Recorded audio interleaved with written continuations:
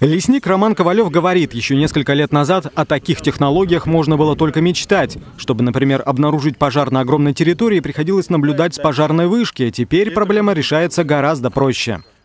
Обнаружение и разведка лесных пожаров в труднодоступных местностях, где нельзя быстро провести технику, как бы человеку пройти сложно. Этот аппарат выручает буквально за считанные минуты. То есть мы пролетели, посмотрели ситуацию.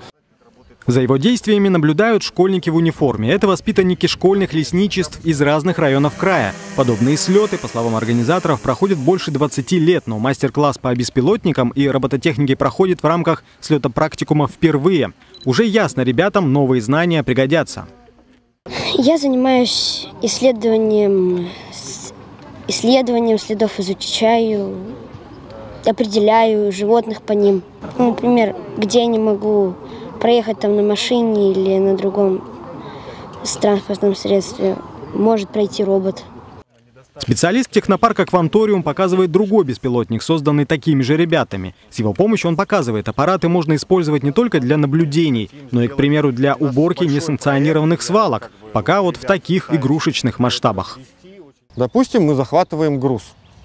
Дрон приземляется, груз захвачен. Нам сигнализация говорит о том, что груз у нас в грузоприемнике.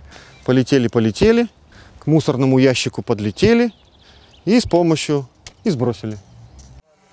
Наряду с новейшими технологиями ребят обучают и традиционным проверенным приемам, например, определять возраст и высоту деревьев. Это навыки, необходимые для так называемой лесной таксации, оценки ценности и продуктивности лесного фонда. Организаторы говорят, за более чем 20 лет интерес к таким курсам со стороны юных лесников только растет.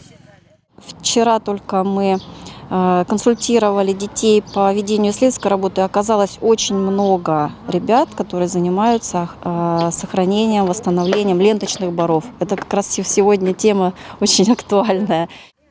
В будущем, надеются организаторы, многие из этих ребят свяжут свои жизни с охраной лесов. По крайней мере, многие уже сейчас намерены после школы поступить в Бийский лесной техникум. Илья Кочетков, Александр Антропов. День с толком.